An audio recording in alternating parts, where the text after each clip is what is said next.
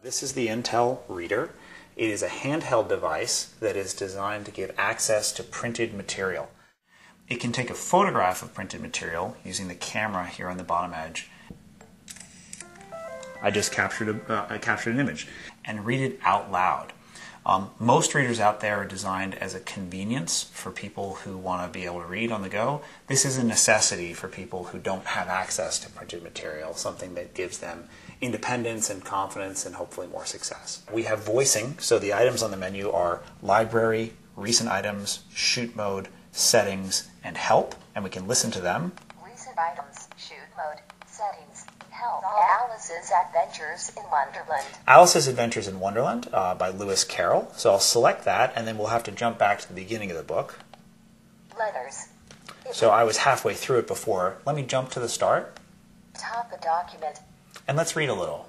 Alice's Adventures in Wonderland by Lewis Carroll One down the rabbit hole. Alice was beginning to get very tired of sitting by her sister on the bank and of having nothing to do.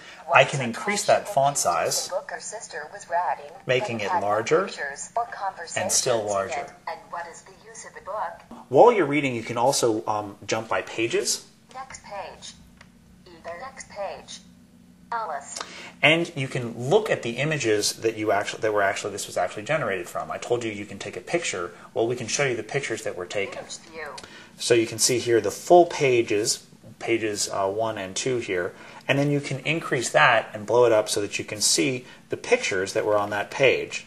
Now you can also be listening to it while you're looking at the pictures. Alice opened the door and found that it led into a small passage, not much larger than a rat hole. She knelt down and looked along the You can change the voice speed. You can make it much faster or much slower. one, 100, 150 words per minute.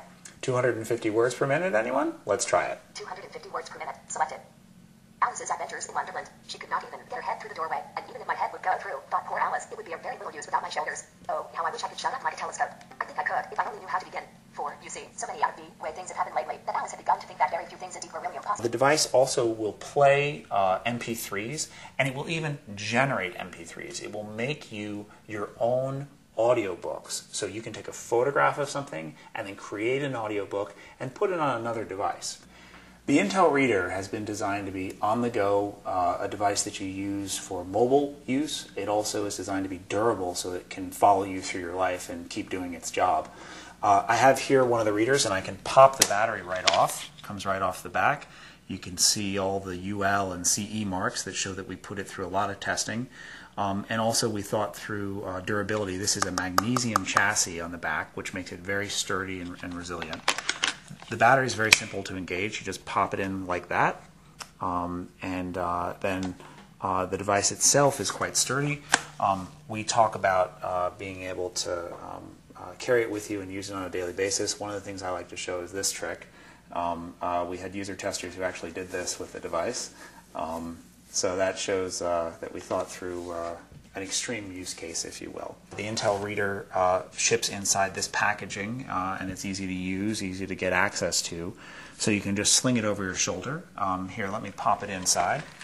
You take the reader, you put it inside with that helpful cord outside it like that.